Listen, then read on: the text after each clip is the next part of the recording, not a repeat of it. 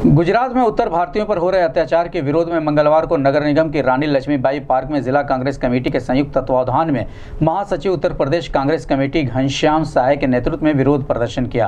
कांग्रेसियों का कहना था कि गुजरात में उत्तर भारतीयों पर लगातार हमले हो रहे हैं, जिसकी वजह से वहाँ के लोग पलायन करने को बाध्य हैं। अगर शीघ्र ही दोषियों पर उचित कार्रवाई नहीं किया गया तो कांग्रेस पार्टी के सदस्य आंदोलन को बाध्य होंगे।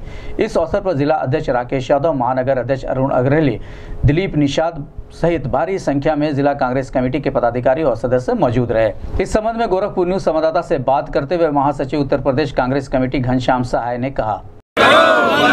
उत्तर भारतीय पे जुल्म बंद करो। बंद करो बंद करो बंद करो। बंद करो बंद करो। उत्तर भारतीय पे अत्याचार बंद करो। बंद करो। बंद करो। बंद करो बंद करो। नहीं चलेगी। कांग्रेस पार्टी जिंदाबाद। जिंदाबाद जिंदाबाद। कांग्रेस पार्टी जिंदाबाद। जिंदाबाद जिंदाबाद। बंद करो बंद करो कांग्रेस पार्टी जिंदाबाद घनश्याम सहाय, महासचिव उत्तर प्रदेश कांग्रेस कमेटी, प्रभारी जिला कांग्रेस कमेटी, गोरखपुर। गुजरात में उत्तर भारतीयों पर हो रहे जुल्म, जाति अत्याचार के विरोध में कांग्रेस पार्टी का पूरा उत्तर प्रदेश के हर जिला मुख्यालयों पर जिला कांग्रेस कमेटी, महानगर कांग्रेस कमेटी के तत्वावधान में जिला अधिकारी के माध्यम से हम लोग महामहिम राष्ट्रपति को ज्ञापन दे रहे हैं कि गुजरात में हो रहे उत्तर भारतीयों के साथ अत्याचार बंद करें, वहाँ का पलायन बंद करें और दोषियों के खिलाफ कार्रवाई करें।